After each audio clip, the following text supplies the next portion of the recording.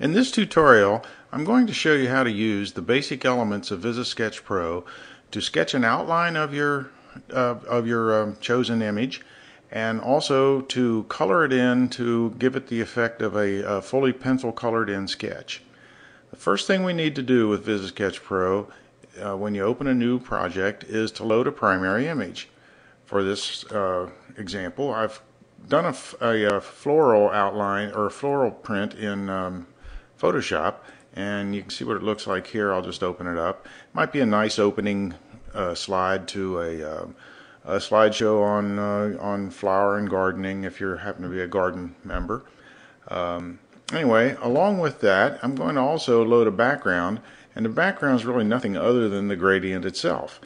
So the, the background is the gradient, the primary image is the flower and lettering on the gradient. Okay, the first thing we're going to do, and uh, all VisiSketch Pro um, drawings begin this way, is with a new dot group, we're going to put a little dot here and a little dot there. And that's going to be the first group, and the reason I did that right at the bottom of the screen is because then when that gives the pen a good place to start rather than to just suddenly appear on the uh, drawing, uh, which wouldn't look very natural. So now if I choose a new dot group, I'm going to go up here to our flower, and I'm just going to simply click along with dots to outline this flower. And you'll notice I'm placing them at about, oh, a quarter to 3 sixteenths of an inch apart, sometimes a little less, sometimes a little more. It's not that terribly critical. But you try to be somewhat exact on your outline because you don't want it to look uh, too childish. Uh, anyway, as we continue along here with the dot pattern, um, once you do a few of the, oops, see now I missed that dot there just a little bit, so I'm going to erase that dot. And I'm going to start back over and say continue this pattern along this line right here. And you can see that when we finally finish this thing, I will have outlined the uh, whole flower and uh, it's not that difficult at all, just simply to march along the outline of the flower, laying down dots, and VisiSketch takes care of uh, putting the lines in that are going to ultimately interconnect to, to draw this underlying image. So if we just click along here, like so, come around this little leaf or bud or whatever that is and come back down the stem and we go and close that up and come down to where we eventually began. Now at this point perhaps it might be worth seeing what we've got uh, so far. So if we just draw the background and then tell the program to draw the lines, you can see the outline of the flower that you've gotten. Uh, if you'd like to see what that would look like as it, it drew in the animated form, that's about the speed at which that outline will draw when you uh, finally render your AVI output from VisiSketch Pro. But for more, um, for more interesting things to do, we can now go back and we're going to redraw the dots just to see where we've been. But an outline of the flower really doesn't show you much. So let's take a new dot pattern and we're going to start adding in a little more detail of what's contained in this flower, perhaps drawing that petal distinct from another, and along here for catching that petal, and the fold on this petal right here. We're just drawing, taking new dot groups and drawing these as is necessary to fill in everything. And I'll go over here and add a little definition here to this petal and the same way here we'll add a little definition down here to this one.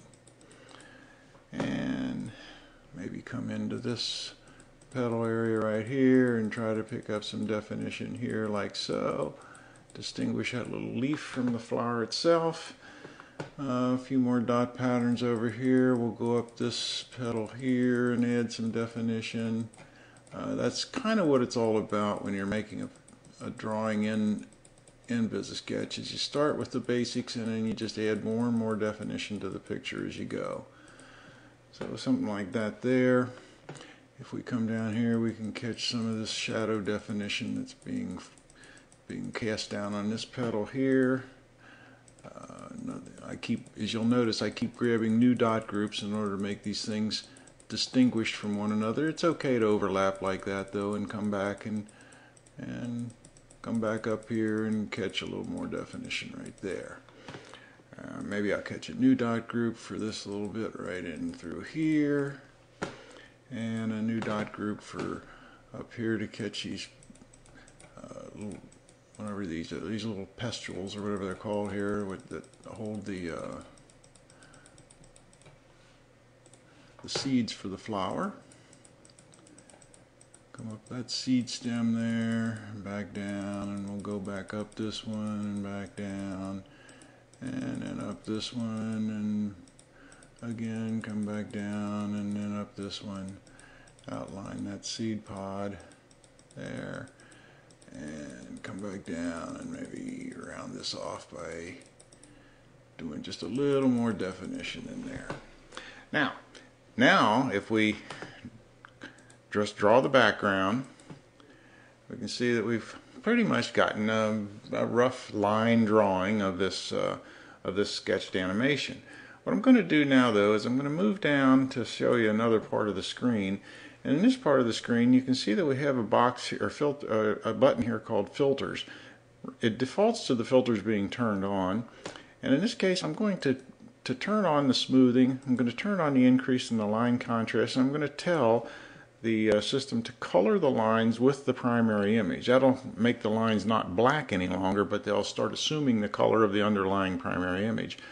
Um, also, a nice level here for smoothing the lines. You don't want the jaggies too much. Is maybe a level a, a level of three, and we do want to increase the contrast after we've done the smoothing. And I'm going to take it up to about a level of eight. Now, if we draw the background and then draw the lines, if we move back up to the image, you'll see that we have now drawn somewhat of a rough outline of what this flower is going to look like. It's not yet colored in, but it's it's the first stages of how to get to a final sketch in, in VisiSketch. Okay, so what I'm going to do now is I'm going to redraw. I'm going to turn those filters off. They're off screen right now for you, but anyway, I'm turning the filters off and I'm going to draw the lines again and I'm going to redraw all the dots so I can see where I've been up to this point.